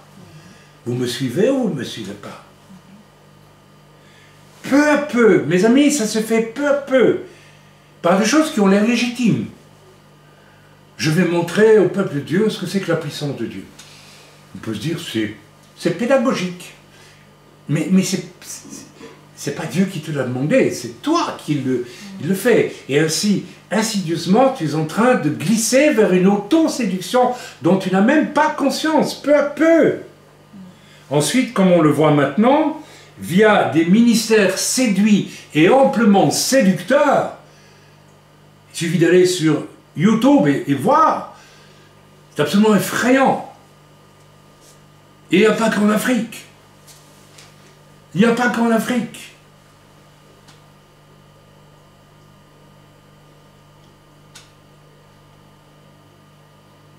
Il suffit de voir ce qui se passe sur nombre d'estrades. Et nous devrions prendre comme un, quelque chose de salutaire à la part du Seigneur de nous, ah, de nous visiter par cette épreuve. Mes amis, il faut que nous prenions conscience que ce qui se passe là, lorsque nous, nous sommes lentement auto-séduits, ne serait-ce que par la beauté de nos moyens, par la force de, par nos dons ou, ou autre chose, ou peut-être même notre richesse, dans l'Église. Vous savez, si je visite un frère, ce qui m'importe, c'est de visiter un frère. Et ce qu'il peut me montrer de formidable au niveau de sa structure, en montrant sa fierté, mais je n'en ai rien à faire de cela. Or, c'est ce qui se passe quelquefois.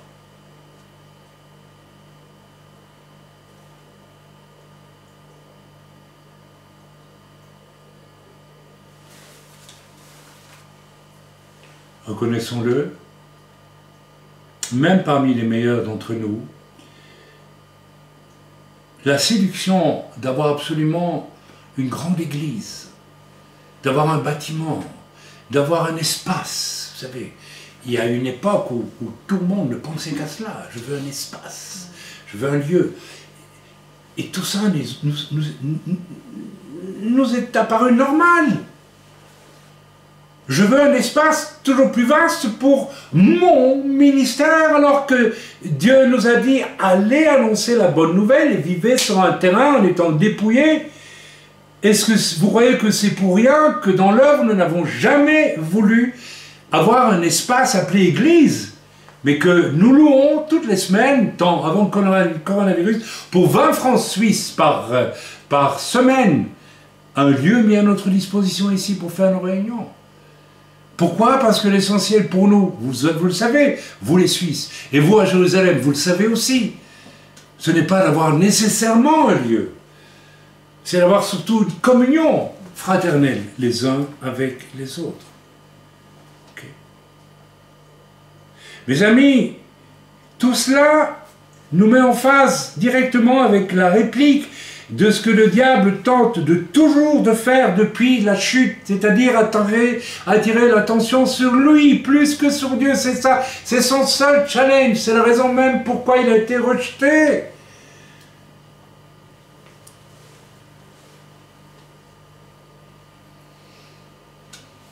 Détourner par tous les moyens l'attention vers lui et non vers Dieu. Voler à Dieu, c'est bien. Le diable est menteur et voleur dès le départ, nous dit l'Écriture. Attention, vous allez connaître de plus en plus de miracles dans ces temps de confinement. Nous n'arrêtons pas d'en voir. Regardez, regardez ce qui se passe depuis. Comment Dieu a débloqué le problème du, du, local à Jérusalem. Parce que nous sommes appelés à aller recommencer tout à zéro dans un endroit où il n'y a, pas de chrétiens. Voilà les challenges de Dieu. Et comment Dieu nous a aidés à, trouver, au point que, que, les juifs qui ne croient pas en Jésus autour de nous, l'agent immobilier, les avocats, tout le monde dit, mais c'est un miracle que vous ayez trouvé quelqu'un. Et curieusement, depuis ce moment-là, les miracles s'accélèrent parmi nous. Mais mes amis, nous avons reçu trois dons cette semaine pour la poutre. Vous savez, je pourrais très bien me dire, dis donc, euh, waouh, le diable pourrait me dire, Chaim, depuis que tu as fait les appels, ça marche pour toi. Hein. Continue, mon frère. Continue, mon ami. Voyez où est la séduction? Mais j'ai dit non. Moi, j'ai mis ma foi en action, mais c'est Dieu qui a agi. Est-ce que vous commencez à comprendre comment on peut être séduit? Comment on peut faire autre chose que ce que Dieu fait en croyant toujours servir Dieu pourtant? J'espère que vous me comprenez. Plusieurs parmi vous, vous allez connaître des miracles. Et je tiens à vous dire, attention, car le ressort mauvais de l'orgueil va automatiquement être testé en vous. Le diable viendra, il voudra que euh, vous... Voilà.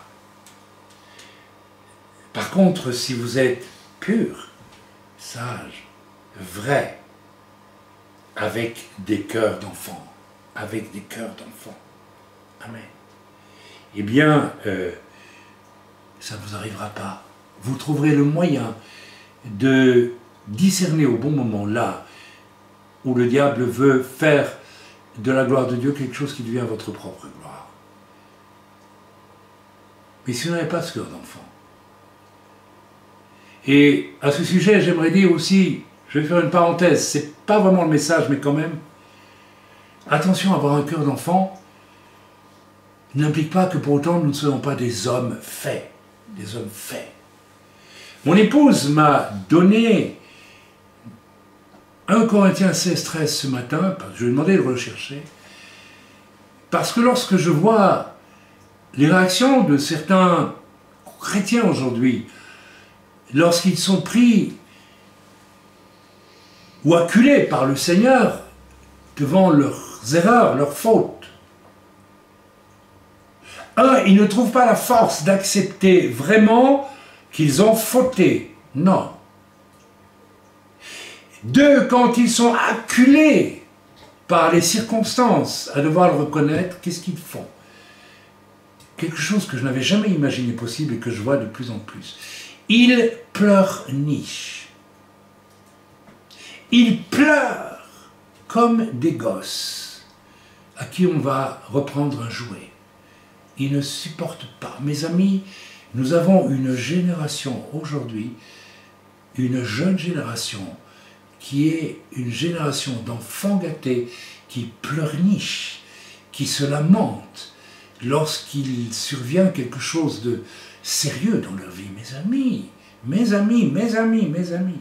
L'Écriture dit, veillez, demeurez fermes dans la foi. Soyez des hommes, soyez des hommes. Fortifiez-vous, que tout ce que vous faites se fasse avec amour. Donc l'amour et le fait d'être des hommes. Mais c'est écrit, mes amis. 1 Corinthiens 16, 13, soyez des hommes, et je vois des choses qui m'effarent dans notre propre œuvre. Des gens qui vivent dans le désordre, parce qu'ils sont infantiles, parce qu'ils ne sont pas des hommes. Ils ont un corps d'homme, mais un cœur d'enfant. Et quand Dieu les accule devant leur faute, il ne se comporte pas en homme qui avec sobriété pense, c'est vrai, c'est vrai, c'est terminé pour moi, je fais demi-tour et je change. Mais qu'est-ce qu'ils font? Il pleurniche, il répète à l'envie, oui, je fais ça, etc. Il pleurniche, il se lamente, il s'apitoie sur eux-mêmes. Il y a là quelque chose qui ne va pas du tout, mes amis. Il y a quelque chose qui ne va pas. Il y a une génération aujourd'hui inquiétante. Et je vais le dire tout, tout net. Et je vous prie, si vous vous sentez concerné, de ne pas me hurler dessus. Vous pouvez le faire, vous pouvez hurler sur moi, vous pouvez penser ce que vous voulez, ça ne fait rien. Je vous pardonne d'avance. Mais il y a un infantilisme aujourd'hui chez beaucoup de personnes qui se veulent à la tête d'œuvres. Vous savez, quand je vois sur Internet un homme qui nous enseigne sur la façon dont on se lève en pyjama avec un jus décroissant et avec un copain qui va faire de la zizik sur son lutte à côté pour voir comment je vais louer le Seigneur. Dites-les, les gars, vous prenez les gens pour des débiles ou quoi? On est dans quel monde avec ce genre de, de, de choses infantiles, ridicules? Qu'est-ce que cela a encore à voir avec la crainte de Dieu? Il faut enseigner au peuple de Dieu à se lever en pyjama, de prendre un jus d'orange, des croissants, avoir un copain à côté qui va faire bling bling pour que vous puissiez louer le Seigneur dans un moment facile, confortable, aimable, gentil et tout cela. Mais c'est magnifique. Mais alors, alors quand la persécution viendra, vous allez faire comment Sans vos croissants, votre jus d'orange, votre pyjama et la zizik du copain à côté? Mes amis, il faut rire ou il faut pleurer. Et on a ça à foison aussi.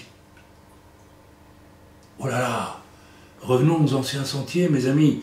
Quand je songe à ma jeune conversion, lorsque le pasteur, étant donné euh, certains de mes comportements qui n'étaient pas bons, a prié pour moi des heures et des heures. Et lorsqu'il m'a vu, il m'a dit, voilà ce que tu vis, voilà ce que tu fais. C'est à me l'a montré.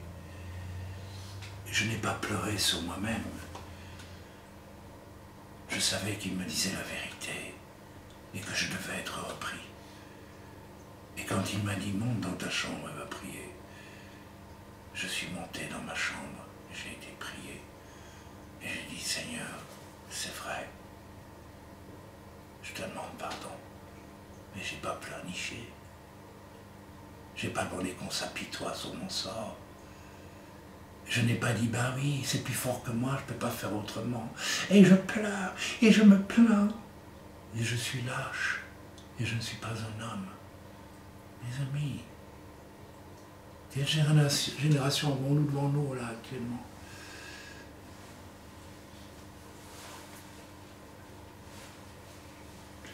Retournons dans Luc 5 et voyons la réaction de Pierre.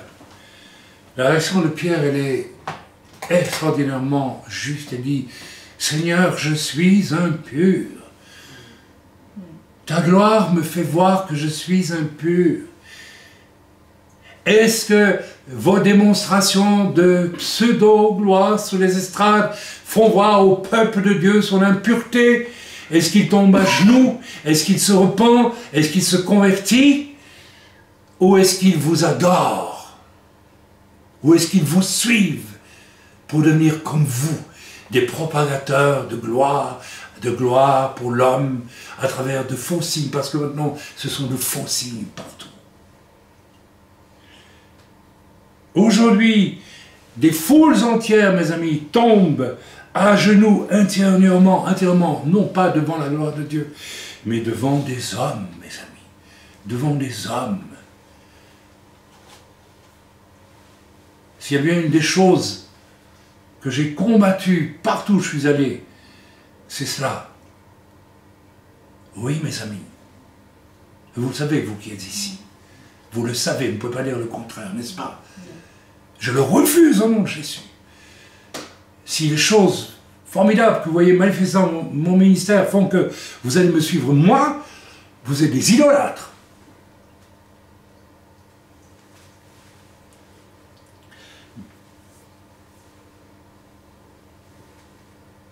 Je bénis le Seigneur, je n'ai pas terminé mon témoignage sur ce qui m'est arrivé en Suisse il y a, dans mon tout jeune ministère, où il y avait une force, une puissance de Dieu qui était donnée et au travers duquel le Seigneur m'a testé. Et quand j'ai dit non Seigneur, je ne veux pas utiliser même l'onction que tu m'as donnée pour satisfaire la soif de gloire chez les hommes qui cherchent à idolâtrer non, et non pas toi. Ils n'ont pas t'adorer toi. Et Seigneur m'a dit, bingo, tu as gagné rien.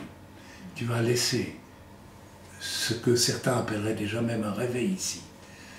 Et tu vas aller visiter ces trois, quatre petites vieilles dans le sud de la France qui t'ont écrit et qui, qui ont dit Nous ne sommes que quatre, cinq, trois ou quatre, et nous ne pouvons pas espérer vous voir un jour, frère, frère. Eh bien, tu vas aller les voir. Et j'y suis allé. J'ai abandonné le terrain de la gloire de l'homme pour le terrain de la gloire de Dieu, dans l'amour.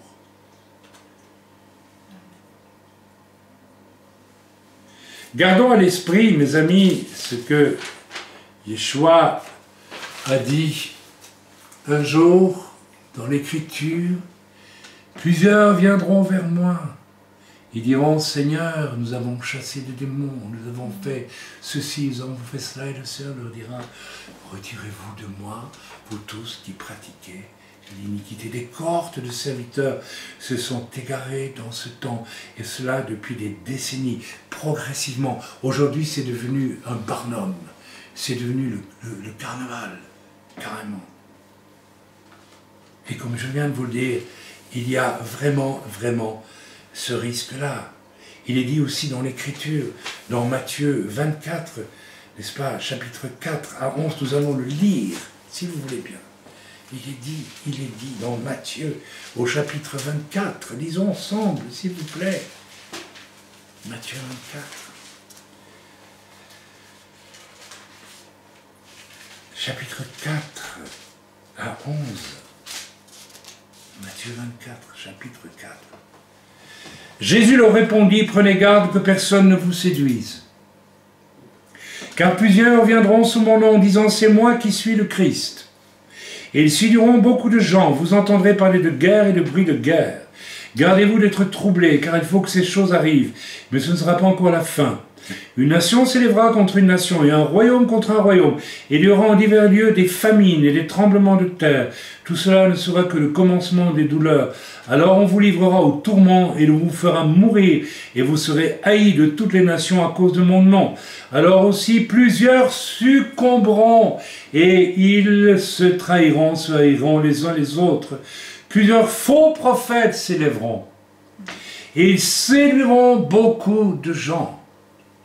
Et parce que l'iniquité, l'iniquité se sera accrue. L'iniquité, c'est pas seulement l'immoralité, le péché dans le monde, mes amis, c'est aussi cette séduction dont je vous parle depuis le début de ce message.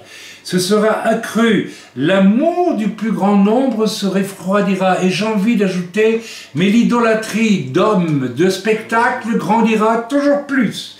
Mais celui qui persévérera jusqu'à la fin sera sauvé. Cette bonne nouvelle du royaume sera prêchée dans le monde entier pour servir de témoignage à toutes les nations. Alors, c'est pourquoi j'ai dit jusqu'au verset, euh, j'ai dit combien moi 11.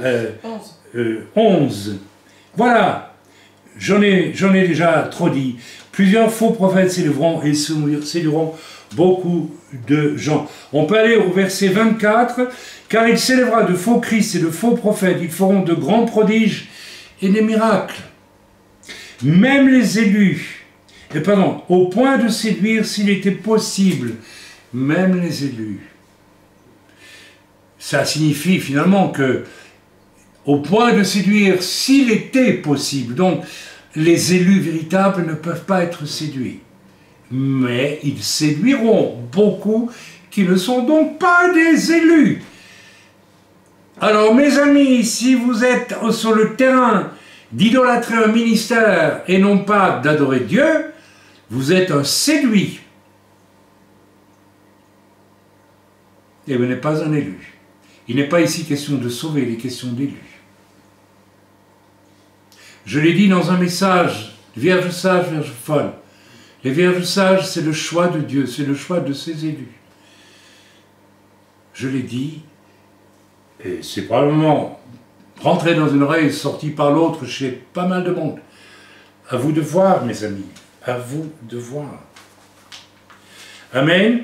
Si vos cœurs sont ceux d'enfants, mes amis, purs, aimant Dieu d'abord et avant tout, et vos cœurs purifiés et votre esprit pur par la force pénétrante et calme du Saint-Esprit, vous fera reconnaître ces gens qui sont en train de vous séduire, tout en tenant peut-être un discours apparemment biblique. Quant à vous, eh bien lisons Luc 5, versets 15 et 16. Retournons dans Luc. Voilà ce qu'il faut faire. Vous savez ce qu'il faut faire Il faut faire ce que Yeshua lui-même a fait et nous montre de faire. Il y a un message dans les actes de Yeshua. Et quel est ce message aujourd'hui? En Luc 15, lisons ensemble. Luc, j'ai dit quoi moi? J'ai dit, pardon. Non, Luc 5, pardonnez-moi, pardonnez-moi. Luc 5, versets 15 et 16, lisons ensemble. Sa renommée se répandait, voilà, sa renommée se répandait de plus en plus, intéressant, et les gens venaient en foule pour l'entendre et pour être guéris de leur maladie. Et lui, il se retirait dans les déserts et priait. Et lui se retirait dans les déserts et priait. Les gens venaient à lui pour en fait en faire une idole. Hosanna au fils de David. C'est le Mashiach. C'est notre euh, ah, leader qui va nous défaire du joug des Romains. On dit de lui qu'il fait des prodiges, des miracles. Allons tous le voir, allons l'écouter. Et lui se retirait dans le désert et priait. Mes amis, c'est la même chose que ce que je vous ai témoigné. Je le dis en toute honnêteté et modestie, mais il y a des moments où nous devons, nous serons testés par rapport à la puissance que Dieu nous a octroyée,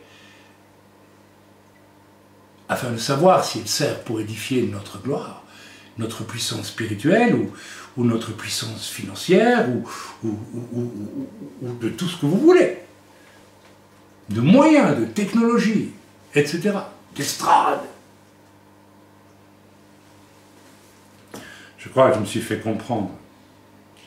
Chaque fois que vous connaîtrez une victoire, laissez, mes amis, la gloire à Dieu et retirez-vous pour prier. Fuyez votre nature déchue et orgueilleuse pour la simple et bonne raison qu'elle est fille du diable. Cette nature orgueilleuse qui n'attend qu'une chose, c'est de revenir à la surface pour prendre en main les choses de Dieu pour elle-même. Et c'est beaucoup plus subtil que beaucoup ne l'imaginent ou ne veulent bien le reconnaître. Je vais vous lire quelques versets, et puis nous en resterons là avec ce message, mais c'est tellement clair. Genèse chapitre 3, verset 13. Ève dit, le serpent m'a séduite. Et comment le serpent a-t-il séduit Ève En lui promettant qu'elle serait comme Dieu? Tout est dit, mes. Tout est dit là. Deutéronome 11, 16, je ne vais pas lire dans la parole, je lis dans ma concordance. Gardez-vous de laisser séduire votre cœur. Et eh oui, c'est dans le cœur que ça se passe. C'est dans ton cœur, mon frère, le serviteur de Dieu, ou le simple croyant. Et c'est de l'abondance du cœur que la bouche parle, mais qu'est-ce qui sort de ton cœur? L'orgueil, la jalousie, l'envie, la revendication, ah mais non, c'est moi qui avais reçu ce passage. Ou est-ce que tout au fond de ton cœur, quand l'Esprit de Dieu te dit, attention, ne tombe pas dans le piège de ta propre gloire. Tu vois que les fous vont t'idolâtrer là, bon, quitte, quitte ce terrain, quitte ce terrain, retire-toi dans le désert, va prier, va prier, renonce à cela. On continue. Job, il dit, si mon cœur était séduit par une femme, oui, Job au moins se pose la question si mon cœur a été séduit. La séduction, mes amis, se joue dans le cœur. Autre, Job 31, 27. Si mon cœur s'est laissé séduire, pardon, si mon cœur s'est laissé séduire en secret. La séduction, mes amis, dont je vous parle depuis le début de ce message, elle se fait dans le secret des cœurs. Vous savez pourquoi? Parce que c'est aussi dans le secret de ton cœur que Dieu veut savoir qui tu es face à lui? Vous me suivez ou ne me suivez pas? Et ça, ça nous concerne chacun dans le secret de nos cœurs. Et c'est à chacun de nous de vérifier dans le secret de nos cœurs où nous en sommes avec ces choses. Ézéchiel 14, 9. On va le lire et on, peut lire peut-être avant 2 Thessaloniciens 2, 3 que personne ne vous séduise d'aucune manière. Apocalypse 2, 20, tu laisses Jézabel servir, séduire mes serviteurs. Apocalypse 12, 9, Satan, celui qui séduit toute la terre. Apocalypse 23, afin que Satan ne séduise plus les nations. C'est au moment il va être enfermé. Apocalypse 28, Satan sortira de nouveau pour séduire les nations. Donc, mes amis, j'en ai dit assez sur la possibilité que nous soyons nous aussi séduits et devenons séducteurs. Parce que celui qui est séduit deviendra séducteur.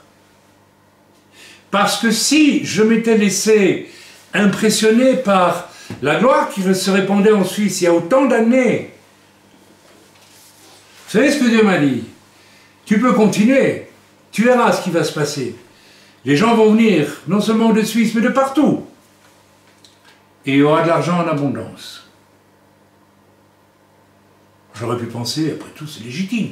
Je vais déployer un grand ministère. Il va se passer ceci, il va se passer cela. Alors pourquoi Dieu m'a-t-il dit d'abandonner cette position? Et si je l'avais accepté, eh j'ai été séduit et je serais devenu moi aussi un séducteur parce que j'aurais été appâté par la gloire pour moi, l'argent pour moi, l'admiration des foules pour moi. Et on m'aurait appelé un jour un général dans l'œuvre de Dieu, un leader, une personnalité. C'est tout ça qui est faux, mes amis. C'est tout ça que Dieu veut ôter de nos cœurs. Lisons Ézéchiel 14, parce que ça parle, vous savez, Ézéchiel 14, verset, chapitre 14, verset 7 à 10, trois versets. 7 à 10. Car tout homme de la maison d'Israël ou des étrangers séjournant en Israël, qui s'est éloigné de moi, qui porte ses idoles dans son cœur, c'est clair, et qui attache les regards sur ce qu'il a fait tomber dans son iniquité, c'est-à-dire sur ce qu'il idolâtre. S'il vient s'adresser au prophète pour me consulter par lui, moi l'Éternel, je lui répondrai moi-même je tournerai ma face contre cet homme, je ferai de lui un signe et un sujet de sarcasme, et je l'exterminerai du milieu de mon peuple, et vous saurez que je suis l'Éternel. Si le prophète se laisse séduire, s'il prononce une parole, c'est moi l'Éternel qui aurais séduit ce prophète, J'étendrai ma main contre lui et je le détruirai du milieu de mon peuple d'Israël. Ils porteront ainsi la peine de leur iniquité. La peine du prophète sera comme la peine de celui qui consulte, afin que la maison d'Israël ne s'égare plus loin de moi et qu'elle ne se souille plus par toutes ses transgressions. Mes amis, est-ce qu'il faut que je relise tout ce qui vient d'être lu? C'est pas clair. Concernant les prophètes, vous courez vers de faux prophètes qui veulent, qui, ont pour mission, c'est votre désir, de vous conforter dans vos désirs, dans vos passions. Rappelez-vous l'exemple de la petite française qui s'est présentée de moi, très arrogante d'ailleurs, dans une église, dans, quelque part en France, il y a des années déjà, et qui campaient, n'est-ce pas, très fièrement, mal, très sur d'elles-mêmes. Frère, je viens à vous parce que vous avez ministère de prophètes, et puis euh, voilà, plusieurs prophètes, des prophètes, patentés, connus. Et, les frères bien-aimés, ah oui, c'est toujours bien-aimés dans ce cas-là, hein, oui, bien sûr, m'ont annoncé et m'ont confirmé que j'allais aller dans une école de musique pour devenir une enseignante dans la louange. Oui, très bien. Et moi, l'Esprit de Dieu me dit exactement le contraire. Et je dis à cette petite femme, comme cela, ça vient directement du Seigneur, vous ne serez jamais prof dans la louange, je ne ferai jamais une école de musique. Je veux dire pourquoi? Parce que dans moins d'un an, vous serez euh, marié à un serviteur de Dieu et vous servirez Dieu sur le terrain. Elle m'a dit, c'est pas possible, alors là, je ne peux pas prendre cette prophétie, c'est pas de Dieu, etc. Un an après, vous connaissez la suite. Dans les rues de Jérusalem, j'entends qu'on m'appelle derrière moi, et je me retourne, je reconnais la petite française au bras d'un géant blond, un, un, bref, je ne sais plus quoi, un, gars du Nord, là, quelque part. Elle me dit, frère, vous aviez raison, je suis marié, nous sommes missionnaires dans le quartier arabe de Jérusalem aujourd'hui. Alors, et tous les autres qui avaient prophétisé dans le sens où son cœur voulait qu'il prophétise. Je vous laisse avec l'écriture. Voilà les prophètes de Coussinet, et ils sont nombreux aujourd'hui. Et ça, c'est le thème de mon nouveau livre, vous avez dit prophète. Mes amis, on reconnaît un vrai prophète, non pas ce qu'il annonce des choses, mais à son caractère. Vous savez, il a fallu à Nathan avoir du caractère, le prophète Nathan. Il n'a pas été prophétisé à David quoi que ce soit. Il est allé lui dire, il y a un monstrueux personnage qui a volé la brebis d'un homme qui n'avait qu'une brebis. Que penses-tu, roi, qu'il faille faire à un tel homme? Et David de répondre, mais il faut le mettre à mort, bien sûr. C'est un criminel. Et Nathan va dire à David, cet homme, David, c'est toi.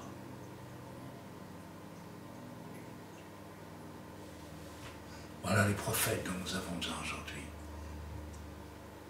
Et ils existent, mais on ne les écoute pas. On ne veut pas les entendre pour le coronavirus, prophétie du 30 novembre 2017, je vous l'ai lu. La vision de l'ange noir au départ de la... Ne venez pas dire qu'il n'y a pas des prophètes aujourd'hui qui parlent. Ils parlent. Mais on ne veut pas les entendre. On préfère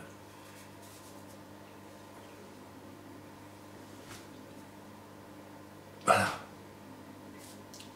Que Dieu nous bénisse. Nous pourrons prier ensemble, si vous voulez, tous ensemble. on va ouvrir le micro peut-être pour quelques instants. Et s'il y en a parmi vous qui veulent prier, qui sont concernés par le danger de l'autoséduction, par l'orgueil, alors repentez-vous maintenant et priez, mes amis. Ne le faites pas pour me faire plaisir. Ne le faites pas parce que, comme des bons religieux, vous pensez que vous devez le faire. Faites-le si la conviction est réelle et profonde. Et si elle ne l'est pas, c'est dommage. Alors, on écoute les prières. Je les écoute. Ceci est un Skype qui se fait avec tous les gens dans l'œuvre et de nouvelles personnes qui sont à l'écoute de nos cultes de Shabbat. On écoute.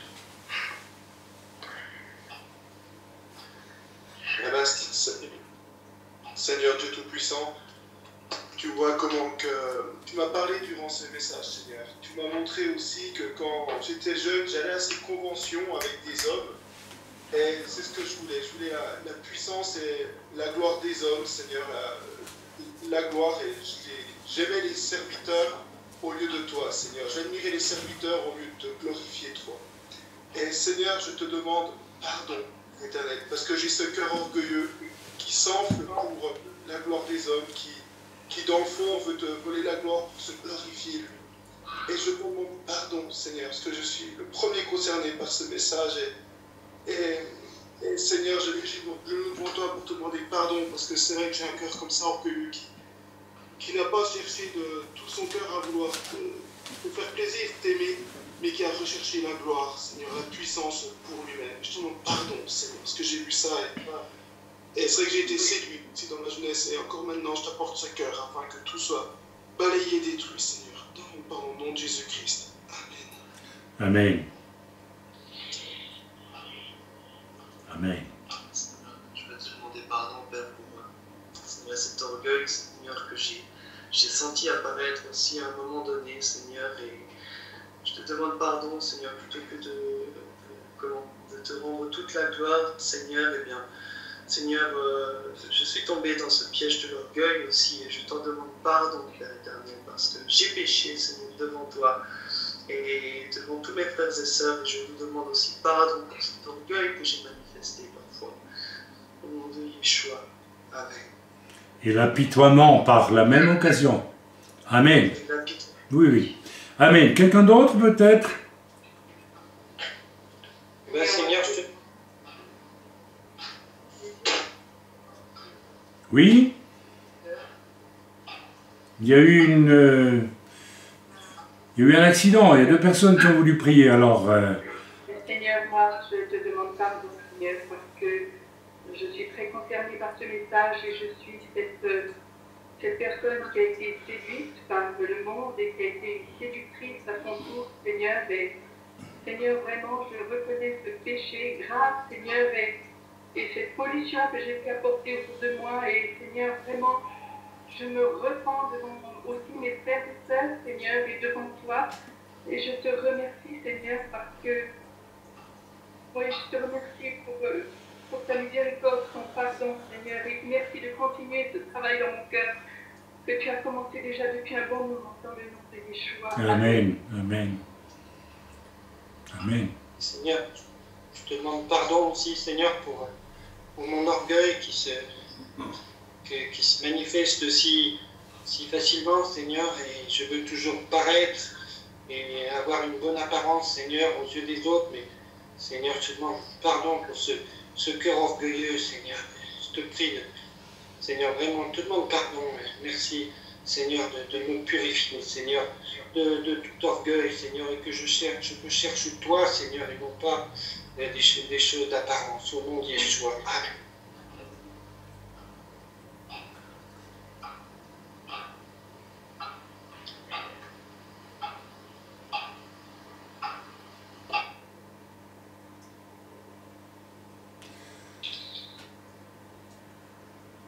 Amen. Bien. Tout le monde a, a prié. Alléluia. Que Dieu soit béni. Bien. Oui. Il y a quelqu'un là?